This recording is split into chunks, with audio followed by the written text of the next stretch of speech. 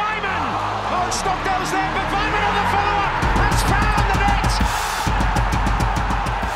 Um, well, for me, obviously, it's a bit different because obviously I left in January because I went on loan, so I don't really know what happened that much towards the end of the season. But um, I think definitely, obviously, I'm guessing a little bit disappointed that we couldn't reach the playoffs that we wanted to. I think personal for me, it's because obviously when I went on loan last year, it's to hopefully try and impress the manager. I'd like to think I've had a good pre-season. I think feel quite fit. I think I've done done well in the games and training. So yeah, personally it's been good, and as a club, I think we've we've worked really hard. So hopefully, when the season starts on Friday, hopefully we're, we're ready to go.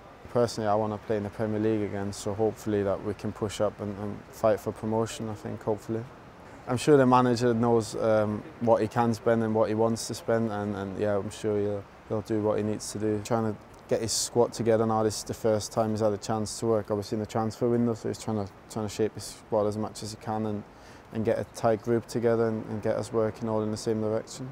Curtis and Tom, they've, they've been around for, for a while now and obviously they've bringing in loads of experience and then for Andre it's probably been a bit easier because he's been at Derby before so they've all settled in really well. Yeah.